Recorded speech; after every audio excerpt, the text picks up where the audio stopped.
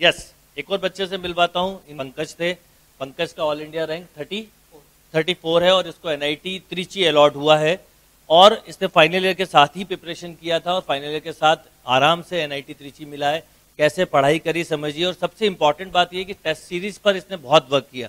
जो सबसे important section था, मैं हर बच्चों को एक बात बोलता हूँ कि क्लास से भी ज़्यादा इंपॉर्टेंट चीज़ होती है क्लास अटेंड करना है वो तो है, पर साथ में टेस्ट पेपर्स पे भी बहुत फोकस करना है।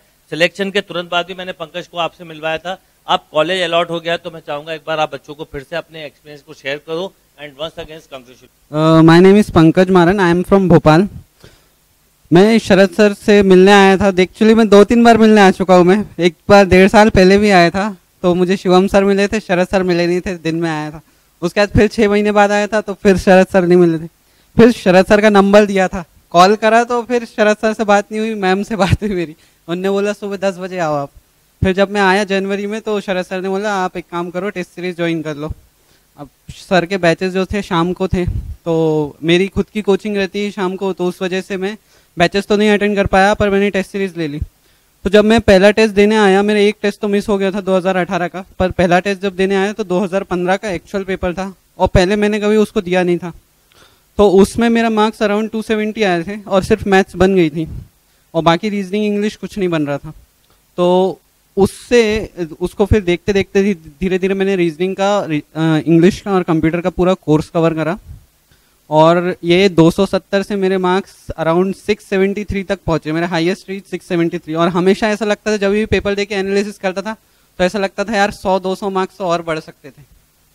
और पेपर देने के बाद मेरा संडे को यही रहता था कि पूरे दिन बैठ के, लगभग बारह बजे तक यहाँ पर टेस्ट होता था। फिर पाँच छः बजे तक मेरा एनालिसिस ही होता रहता था। जो क्वेश्चन हो गए हैं, उनको और शॉर्ट तरीके से कैसे करना है? या ऐसी कोई क्वेश्चन जिनको मैंने लॉन्ग मेथड से करा, उसको शॉर्ट ट्रिक या क्वेश्चन कुछ कुछ क्वेश्चन तो ऐसे रहते हैं जिनको ऑप्शन तीन ऑप्शन ही अलग रहते हैं और एक ऑप्शन अलग रहता है। तो ऐसे क्वेश्चन भी रहते हैं तो उनको देखना चालू करा।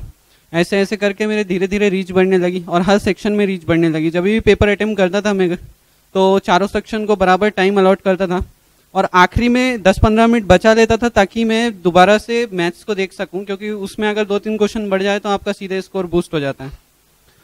और जब भी डिप्रेस्ड होता था तो शरद सर के मोटिवेशन वीडियो आते ही रहते थे एक्चुअली में, और संडे को हमको वैसे ही डोज मिलता रहता था, पेपर के बाद। प्रतीक सर देते थे कभी कभी कभी कभी शरद सर देते रहते थे। तो डिप्रेशन आता नहीं था ज़्यादा, और जब भी आता था तो मैं वीडियो देख लेता था सर की। सर एक ही बात बोलते थे जो है वो कर दो। अभी आपको ड्रॉप का सोचना नहीं है, बस अपना बेस्ट दे दो। रिज़ल्ट की टेंशन मत लो। और एक बात देखी मैंने, जो सर ने बोला था, पहले मैं जब टेस्ट देता था तो सोचता था, यार फ़र्स्ट रैंक लगाऊँगा इस बार टेस्ट सीरीज़ में। मेरा मार्क्स और कम हो जाते थे। अगली बार फिर सोचता था, यार, अब फ़र्स्ट रैंक लगाऊँगा टेस्ट सीरीज़ में। तो और कम हो जा रहे फिर मैंने एक काम करा, इसको छोड़ दिया।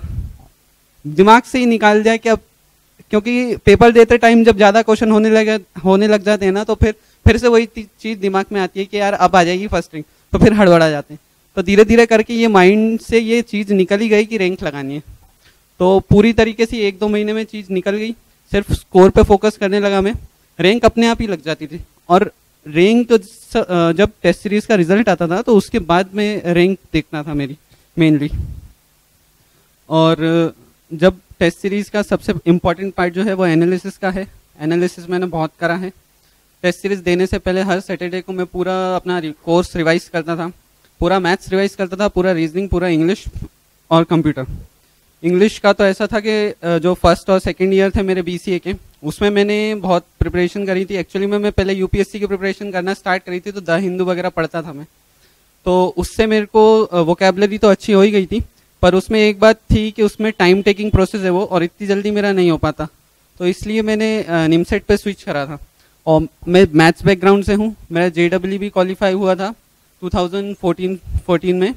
नहीं सॉरी 2015 में मेरा जे क्वालिफाई हुआ था और मैथ्स सेक्शन अच्छा था। तो और निमसेट के बारे में मेरे को उस टाइम पे पता भी था। तो इस वजह से मैंने यूपीएससी को थोड़ा अभी रहने दिया और क्योंकि उसमें टाइम लगता है। एक बार तो कोर्स मैंने पढ़ा था, खैर, पर वो दिमाग में बैठता नहीं है इतनी जल्दी। तो इसलिए मैंने उसको छोड़ के स्किप करके निमसेट पे प्री फोकस्ड हुआ और उसकी प्रिपरेशन यहाँ से इम्पेटस से टेस्ट सीरीज़ लेके स्टार्ट करी। जब टेस्ट सीरीज़ ली तो फिर बाद में मेरे को पता चला कि बच्चों जो मैं जब आया था तो मैं एक्चुअली में आते हुए भी मेरे को क्वेश्चन अटेम्प्ट नहीं हो पाते थे। पेपर छूट जाता था स्टार्टिंग स्टार्टिंग में तो। और यहाँ तो फिर गड़बड़ी हो जाती थी। कभी कभी तो ओएमआर भरने की आदत भी नहीं रहती। तो ए का बी लगा दिया बी का कभी कुछ लगा दिया। पेपर में टिक मार दिया ओएमआर में नहीं भरा। तो ये घर पे जाके जब देखता था, मेरा स्कोर कैलकुलेट करता था और जब रैंक कार्ड का स्कोर कैलकुलेट करता था तो समझ में आता था। और सारे प्रीवियस ईयर पेपर इम्पेटस में तो हुए ही हुए, साथ में मैंने घर पे दो दो बार दिए टाइम लगा के। डेढ़ डेढ़ घंटा एक एक घंटे का मैंने टाइम लगाया और सारे प्रीवियस ईयर पेपर को दो दो तीन तीन बार दिया। सर बोलते थे कि आप एक पेपर को अगर रिपीट करोगे तो आपकी स्पीड अपने आप बूस्ट हो जाएगी। और जब सेम पेपर को अपन देते हैं तो फेमिलिटी उस पेपर से बढ़ जाती है और आपको जब पेपर आएगा तो लगेगा नहीं कि नया पैटर्न का आया है। और एक और चीज़ मैं करता था कि मेरे पास आई आई टी जेई के प्रीवियस ईयर पेपर की पूरी सॉल्व बुक थी इंक्लूडिंग एडवांस तो उसमें paragraph subjective match the column और जे डबल मेंस के क्वेश्चन और इंटीजर टाइप वो सब मैं करता था प्रैक्टिस में. और जब भी मेरे को ऐसा लगता था, यार, ये सेक्शन मेरा वीक है तो पहले मैं RD उठाता था. आर डी सॉल्व करने के बाद जे डब्ल्यू के प्रीवियस ईयर क्वेश्चन और NIMCET B H U even मैंने के आई आई टी के एम सी ए के भी प्रीवियस ईयर पेपर भी सॉल्व करे. के आई आई टी के और क्या बोलते अपना M P M C A है। क्योंकि शॉर्ट टेस्ट जब भी मेरे को देना होता था एक डेढ़ घंटे का तो मैं ये पेपर लग, आ, रख के चालू हो जाता था। तो इस तरीके से जब भी प्रीवियस ईयर पेपर देते हैं तो उससे एक्चुअली में प्रीवियस ईयर पेपर में कुछ कुछ क्वेश्चन ट्रिकी होते हैं जो जिसमें अपन स्टक हो सकते हैं। तो उससे एक आइडिया लगता है कि कौन से क्वेश्चन को छोड़ना है और कौन से को अटेंड करना है। तो ये शरद सर के जब वीडियो आते थे और डाउट एक बात बहुत अच्छी है सर की कि यूट्यूब पे हमेशा ये वीडियो डालते थे। तो मेरे को कभी कुछ पूछना ही नहीं पड़ा। जो भी रिलेटेड डाउट थे, वो ऑटोमेटिकली यूट्यूब पे मिल जाते थे मेरे को। जो नॉर्मल बच्चे के क्वेश्चन रहते हैं कि ये काम कैसे करें या रिविजन कैसे करें? तो मेरे को यूट्यूब से मिल जाता था। यूट्यूब कभी ऐसा नहीं लगा कि यार मैं घर पे बैठ के अलग से पढ़ रहा हूँ। तो जब भी टेस्ट यहाँ पे देने ही आता था और सरस सर की क्लासेस जो एंड टाइम पे सर ने दी थी हमको लाइव क्लासेस दी थी यूट्यूब पे अवेलेबल थी जो प्रीवियस ईयर पेपर सॉल्व थे तो वो देखता था मैं। और सर की काफ़ी सारी अप्रोचेस थी।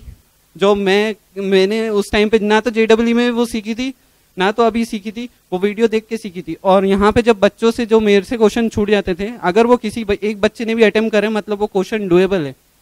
अब मैं उन बच्चों से क्वेश्चन पूछता था वो तो वो मेरे को अप्रोच बताते थे कि यार ये इस इस तरीके से होगा तो हो जाएगा। तो जो क्वेश्चन आपसे छूट रहे हैं, वो देखो, किसी ने अगर अटेम्प्ट करा है तो मतलब वो क्वेश्चन पेपर में हो सकता है। और इस तरीके से मैं धीरे धीरे इम्प्रूवमेंट होने लगा मेरा। और मोटिवेशन सर बहुत मतलब शानदार करते हैं। मोटिवेशन का तो मैं बोल ही नहीं सकता। कभी भी सेल्फ डिप्रेस हो जाता था तो सर के वीडियो देख के मेरे को मोटिवेशन अपने आप मिल जाता था। और सर आ, सर हमारे संडे के दिन आते थे तो पूछते थे किसके क्या स्कोर रहे और बताते भी थे गलतियाँ। तो thank thanks to Sharad sir and thanks to Impetus thank you thank you Pankaj आपने बहुत अच्छी इन्फॉर्मेशन दी। देखिए क्या होता है सबसे इंपॉर्टेंट जो बात इसने बोली कि टेस्ट पेपर और एनालिसिस करना, मैं हर बच्चे को एक ही बात बोलता हूँ, ज़्यादा बुक सॉल्व नहीं करनी, ज़्यादा गाइड सॉल्व नहीं करनी। एक ही बुक को, एक ही टेस्ट पेपर को दो दो, तीन तीन बार सॉल्व करो। जब आप बार बार सॉल्व करते हो तो आपको आइडियाज़ मिलते हैं, आपको कंसेप्ट समझ में आते हैं, आपको ये समझ में आता है कि किस ढंग से हम क्वेश्चन को और दूसरी अप्रोच से कर सकते हैं। जब तक एक क्वेश्चन को टू थ्री टाइम नहीं करते, ये अप्रोच नहीं बनती तो ये चीज़ आप अपने आप में डेवलप करो। पंकज, ये आपका स्टार्ट है, अब आप त्रिची में जाओगे, ये बहुत बड़ा अचीवमेंट है अभी, पर ये स्टार्ट है आपका। अब आपको लाइफ में बहुत आगे बढ़ना है. Once again congratulation and all the best thank you